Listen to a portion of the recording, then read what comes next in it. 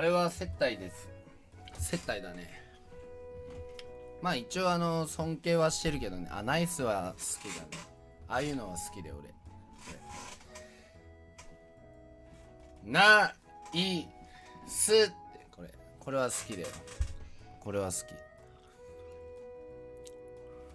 あ折原くん？あー折原くんも見ましたよ。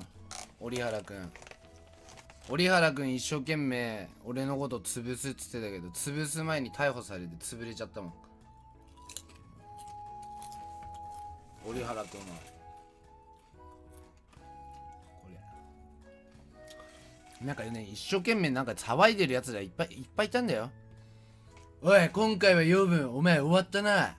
折原に目つけられたぞって。俺ずっと前から言ってんじゃん。あんなガキの何がな。のツバニャを A 版にしたっつって A 版にもならんしユリアはどうのっつってユリアにも何もできてないし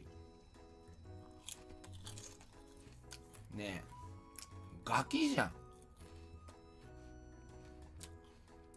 んねえあいつガキあいつのソースってね雑談たぬきとかね雑談たぬきを探しても俺の住所もわからないんだよだからパルに連絡して養分の家の住所は教えてくれないみたいなお前何ができんだよ。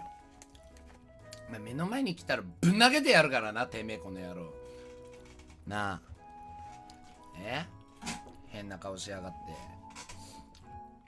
背伸びすんじゃねえよ。おめえがどれだけなすごいやつか知らねえけど。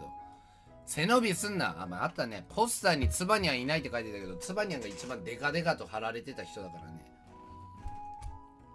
背伸びすんな。などこで名前売ってきた人間か知らねえけど潰れたのがお前だけなんだよ。ふざけんなよ。お前に何ができんだよ。誰一人潰せてないやつに。電話でも一度喋ったんだからね彼と。ほんならもうわけわからんこと言ってたもんね。ほんと中二病ザ中二病。闇市みたいな。え闇市ってなんだ？ね。相場とか。ね。あのー、違法性のないことでだけど言えませんとか。何言ってんのかなと思って。違法性ないなら言えよって思うし。意味わかんねえなと思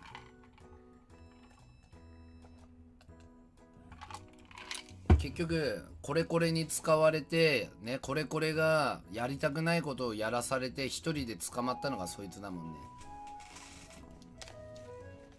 で「いっお疲れ様です」みたいな。鉄砲玉だ鉄砲玉。